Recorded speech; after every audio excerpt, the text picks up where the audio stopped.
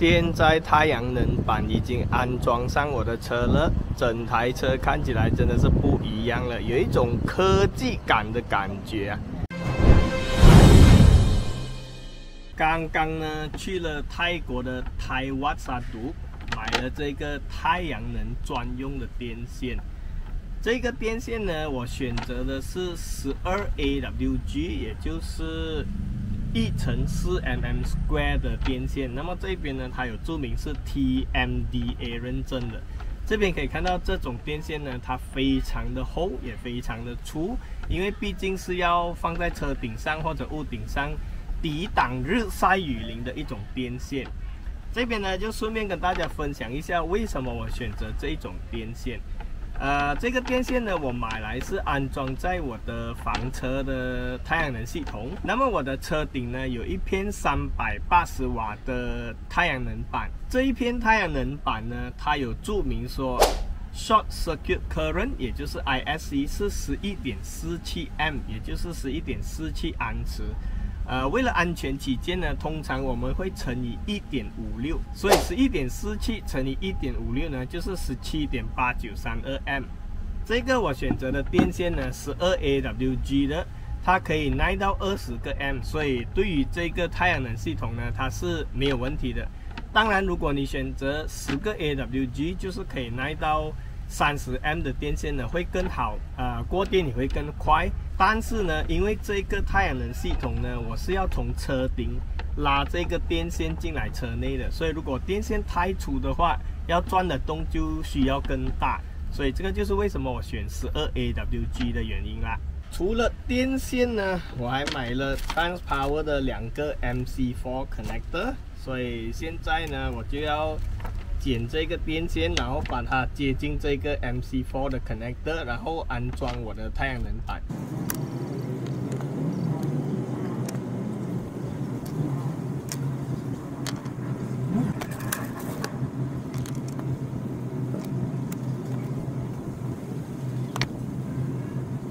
这个电线呢，真的不用剪太长，就是刚刚好可以进这个 mc for 的 connector 就可以了。大概就是这样子了。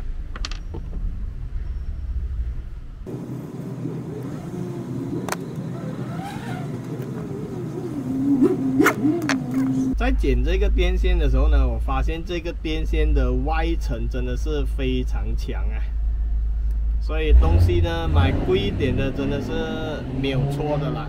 毕竟这个电线呢是要在车顶上日晒雨淋的。以我这样分析，这样看这条电线呢，应该最少了，最少可以耐个几十年，应该都没有问题了。哇，这个电线真的是蛮顽固的，因为我也没有呃带很足够的工具来，所以也只能有什么工具就用什么工具而已。这个夹线呢，就是红的，剥开过后里面还有一条黑色的皮。剥开这一层塑胶过后呢，就看到这个十二 AWG 的电线，有这个 TMDA 认证的电线，真的是蛮不一样的。你可以看到它的 quality，也就是它的品质，其实蛮好的。现在剪好了红线，就要剪黑线了。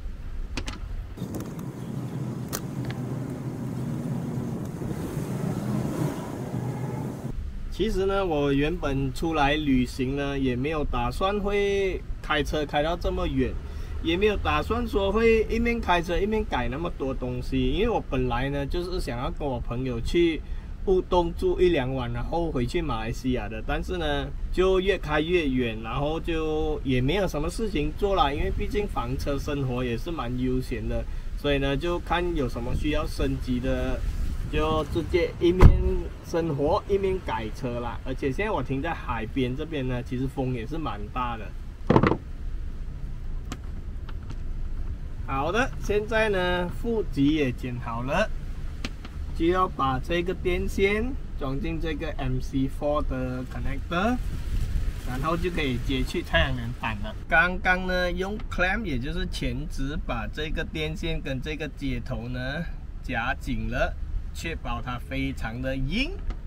然后就把这个 MC4 的头给它镀进去，听到哒一声过后呢，就可以把这个锁紧。然后这样子呢，就完成了一个 MC4 的接头了。接完红线过后呢，现在就要接黑线了。这一片太阳能板上面的正负极也是一样，给人镀的就是正极，那边就是负极了。现在呢，就刚刚把这个正极接正极，然后那边负极接负极，然后就把这条电线。从这一边要接进我的车里面，然后呢，我就打算从这个灯这边的洞进去里面，然后再接进来我的 solar controller 了。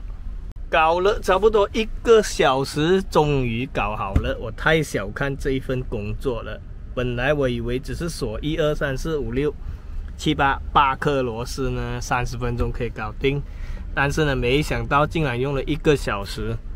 现在我就要设置这个 solar controller，就是太阳能控制器，将它设置太阳能板充电。呃，有的人设十二啊，十二到十四或者到十四点五伏特，所以这边呢，我就设置十二伏特啊，十四点二伏特。然后呢，嗯，尝试。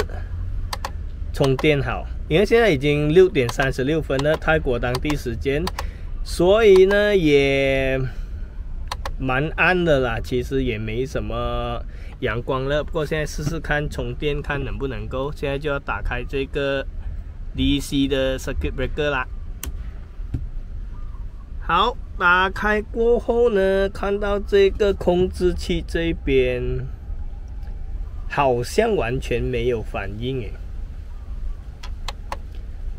三十四度，然后因为这边有一个月亮的符号，不知道是不是代表说现在呢完全没有阳光，所以充不到电呢。呃，因为我这边设置十四点二伏特，然后电池是一点九十二点五。好像完全没有反应诶，不知道是不是真的是完全没有阳光了呢？因为如果它有在充电的话，这个 PV 这边应该会跑，有多少伏特什么应该会跑，然而它完全没有跑，或者这个瓦呢，就是这个瓦数应该会跑，但是它也完全没有跑。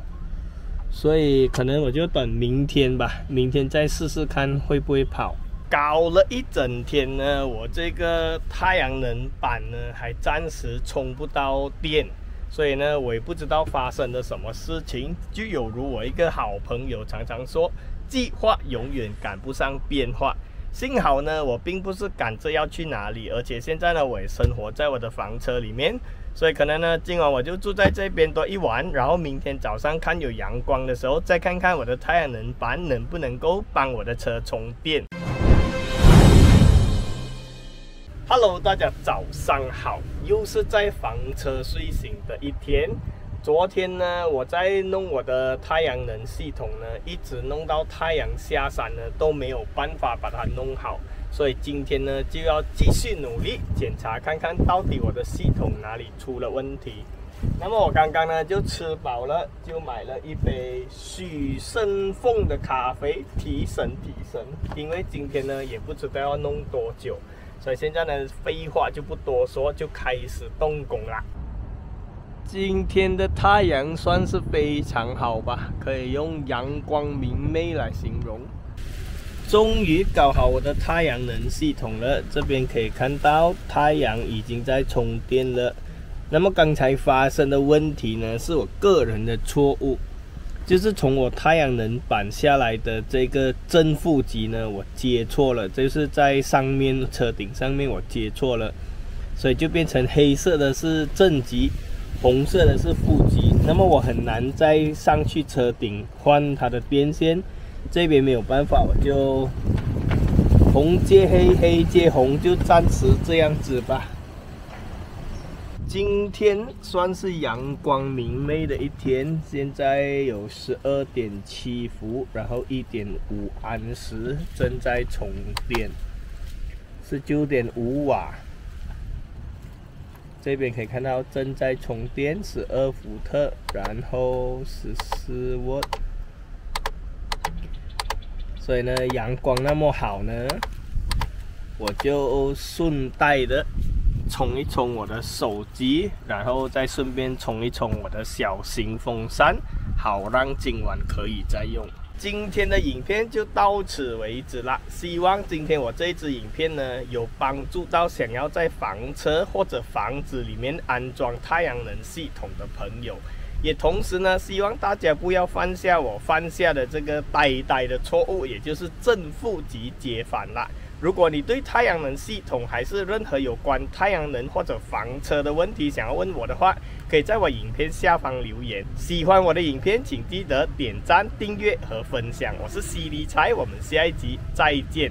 现在呢，我就要在我的房车睡一个午觉了，毕竟今天的风呢真的是非常大。